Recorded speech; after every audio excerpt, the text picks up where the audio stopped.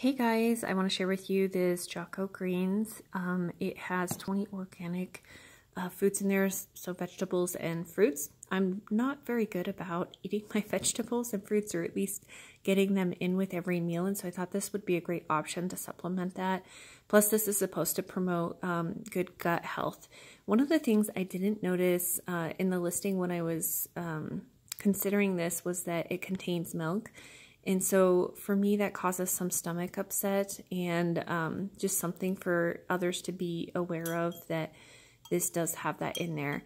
Um, it takes a long time for it to dissolve. I stirred for what felt like a very long time. So if you have one of those, um, you know, protein blenders, that might work better than the cup and stir method um, because I probably stirred for at least maybe a minute and it wasn't fully uh, dissolved and I kept checking to see if I still had um, chunks because I'm a texture person so um, for me texture is important.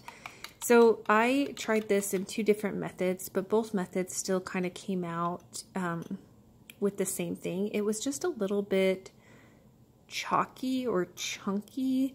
Um, I don't know how to describe it, and so I was hoping for more of a smooth drink. I'm not a huge protein powder person or health guru or anything like that. I'm just like a normal person who probably could eat and um, eat better and have, you know, more vegetables and fruits in my diet and have a, a better system for that.